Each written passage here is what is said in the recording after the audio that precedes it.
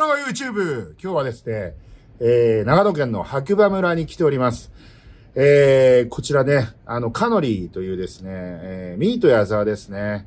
えー、ハンバーグとかですね、焼肉とかそういったところで有名なミート矢沢さんが、なんと満を持してオープンさせた、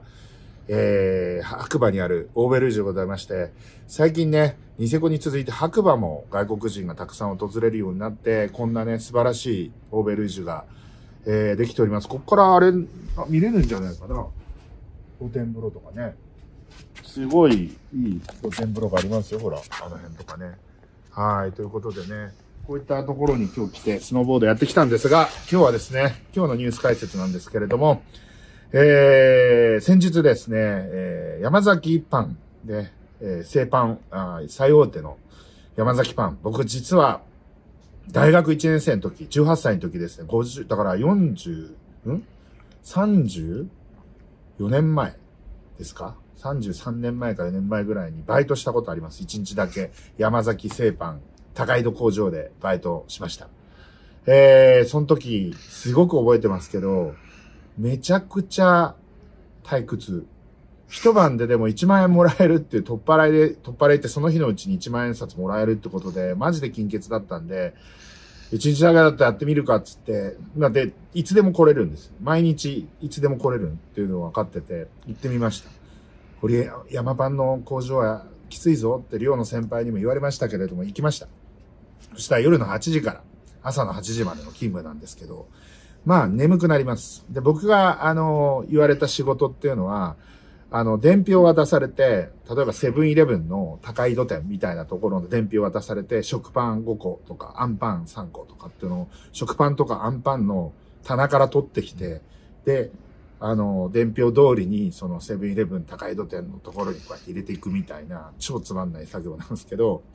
まあ、眠くなりますわね。で、あの、まかないパン食べ放題。あとまあ食堂もちゃんとあって和食とかあるんですけど、まあ、こんなつまんねえバイトしてられっかっつって、1万円もらえてももう二度と行かねえと思って辞めましたけど、そこで働いてた61歳の女性がですね、なんと、ベルトコンベヤーに挟まれて亡くなるっていう痛ましい事件がありまして、なんかね、ネット上の意見がちょっとなんか俺ずれてんなと思ったのは、なんか61歳になっても働かなきゃいけねえのかとか、年金もらえねえのかとか、そんな話もありましたけど、高齢少子化なんだからもらえるわけねえだろ、お前。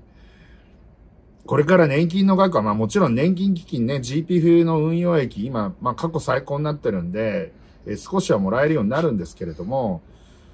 まあ、高齢少子化の時代なんて働き手も足りないんで、60歳になっても働かなきゃいけないんです。これからの時代はね。これはしょうがない。で、政治家が、え、裏金を作って税金を納めてねとか、ぐだぐだぐだぐだ、ね、言ってるやついますけど、俺はね、なん、この問題の本質はそこじゃねえと思ってるんですよ。山崎製パンがやらなきゃいけないことって何かわかりますか？自動化なんですよ、LINE の。で、彼女がやってたバイトはおそらくですけど、ベルトコンベヤーをまあまあ高速で送られてくるパンがあるんですけど、それ多分仕分ける仕事なんですよね。いろんな仕事あるんですけれども、その高速仕分けの仕事なんだと思います。もう61歳になってたら反射、反射力も弱くなってですね、多分、いっちゃ、あの、取り逃しちゃいけないパンを多分、ちょっとうっかりして取り逃しちゃって、それをこう探しに行ったらなんかベルトコンベヤーに巻き込まれて死んじゃったみたいな話なんだけど、そんなのね、自動化できんじゃん。今だったら。なんで自動化しないのかわかりますか？山崎製パン。山パンのバイトに来るからなんですよ。要は、一晩一万円で今でも雇ってんだと思うんですよ。で、お金に困ってる人は、うん、必ず山パンは行ったら1万円もらえるからって言って、やっぱりずっと山パン以外のもう脳がないわけですよね。だ申し訳ないけど、ちょっとそういったところ他の選択肢とかを考えるこう余裕がないのか、まあそういうアドバイスをしてくれる人がいないのかわかんないですけど、山パンは雇ってくれるんですよ、多分。だから、そういう低賃金、低賃金で、その61歳の女性を雇えるから、奴らは LINE に自動化の投資をしないんです。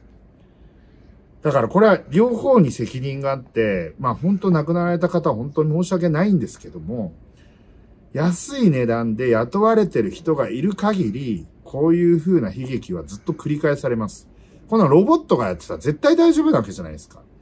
でね、他にも働いてる人がいて、こう自動停止ボタン止めれば別に止まるんですけど、なんか迷惑をかけたくないとかね。そういう風に責任感重いからそうなっちゃうんだけど、責任感重くて安月給で働いてる、安い日給で働いてる人がいるから、山崎製パンは LINE に自動化の投資をしないんです。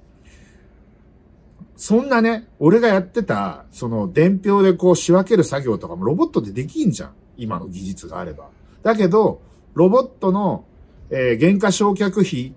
よりも人間の時給の方が安いんだよ。だから人間を雇い続けるんですよ。だからこの辺はみんなで、こんな安い時給で働いてらんないっすよって、いやいいんだよ。ね。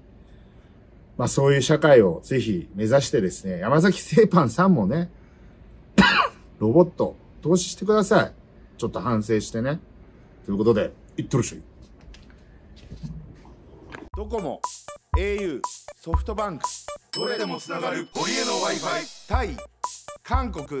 アルバニア、どこでもつながるポリエの Wi-Fi。ポリエの Wi-Fi で、いってらっしゃい。